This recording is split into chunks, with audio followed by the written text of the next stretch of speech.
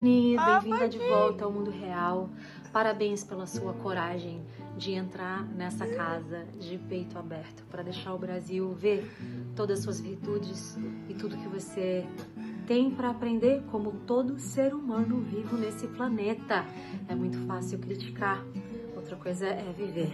Primeiramente, eu quero dizer que eu te amo muito, muito, muito, muito. Nem eu acho que sabia que eu te amava tanto assim.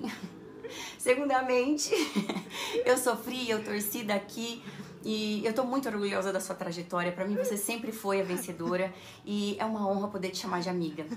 Você deu aula de respeito, educação e elegância. Então agora voa porque o mundo vai ficar pequeno para você, amiga.